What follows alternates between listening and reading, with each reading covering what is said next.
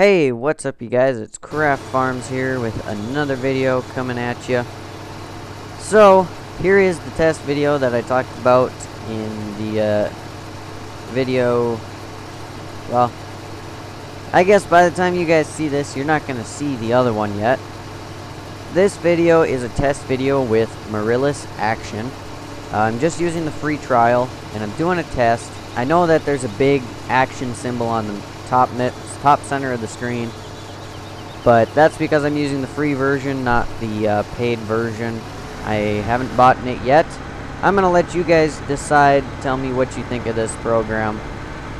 Um, this does not drop my frames at all, thankfully. Uh, the only reason I'm getting dropped frames right now is because I'm getting lag in the farmyard, which I get when I'm not recording even. So as you can see, we're running up at uh, 50 or so FPS. We look down, we can go 60. So it's running what it usually runs for me now, um, which is nice. Um, so yeah, like I said, just doing this as a test. This doesn't have the intro. This doesn't have any of that stuff. Just doing this as a test to see what you guys think. Um, maybe I might need to do some more fine-tuning with the audio.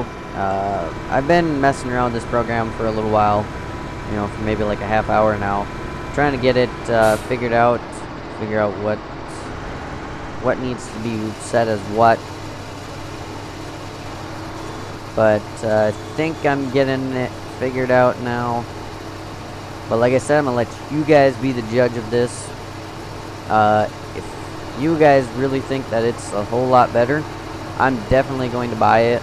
Uh, it's only 30 bucks, so I should be able to buy it.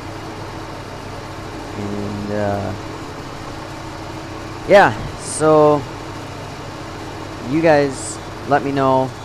Uh, today's video that you'll be seeing after this is, oh, that wasn't full, was it? Uh, that you'll be seeing this afternoon. That was still recorded with OBS, and that in that video I talk about how I want to uh, test this program out again. Uh, I've, I've tested it out already once before, but I hadn't messed with it a whole lot. I just wanted to see if it dropped my frame rate or not, which it does not.